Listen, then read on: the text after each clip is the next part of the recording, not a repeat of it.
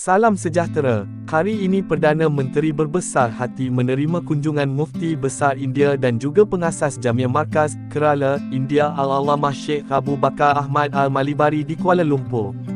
Sheikh Abu Bakar dijangka akan menghadiri beberapa sesi majlis ilmu termasuk seminar penghayatan Sahih Al-Bukhari dan peluncuran Majlis Hadis Sahih Al-Bukhari peringkat kebangsaan 22 Julai 2023 di Putrajaya yang akan turut saya sertai kelab. Tahun lalu Anwar Ibrahim diundang oleh Sheikh Abu Bakar ke Jamia Markaz yang dipimpin beliau yang terletak dalam Bandar Ilmu, Markaz Knowledge City di Koshikot, Kerala.